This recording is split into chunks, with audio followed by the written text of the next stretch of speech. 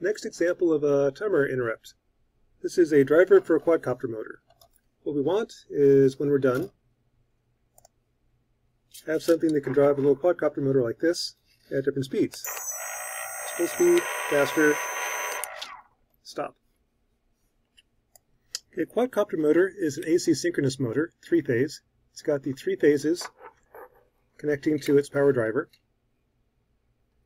The black and red lines need to be 6 to 12 volts DC.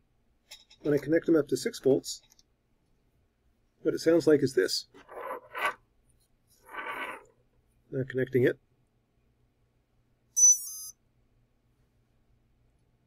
That DDD is telling you that the voltage is correct. If I connect to 5 volts, which is too low, it makes the air sound. This is the air sound. That beep beep is telling you the voltage is wrong, fix the voltage. Going back to 6 volts. It's now waiting for a valid command input. The three wires, like right here, the white wire is your data, red wire is power, 5 volts, black wire is ground. I've not connected it to power and ground. The data line, the white wire, it needs a 0.9 millisecond pulse at 50 hertz.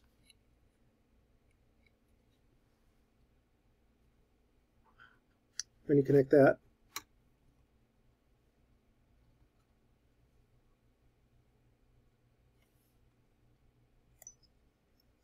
That beeping noise tells you that it's waiting for a valid command signal.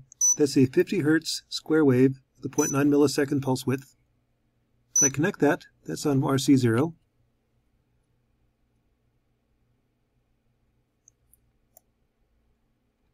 Get this signal. That long beep says the voltage is correct, the 0.9 millisecond 50 hertz pulse is correct, it's on idle mode. If I now give it a longer pulse, 1.3 milliseconds, it starts spinning, 1.4, 1.5, back to stop.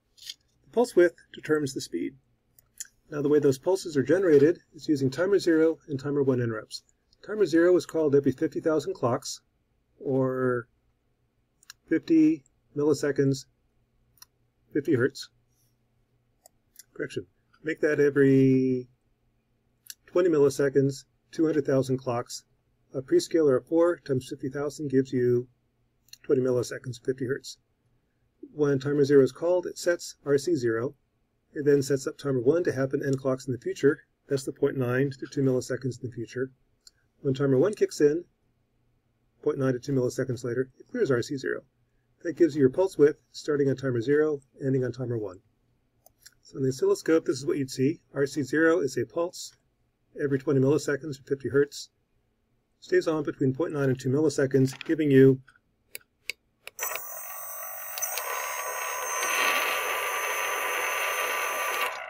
speed controller per quadcopter motor.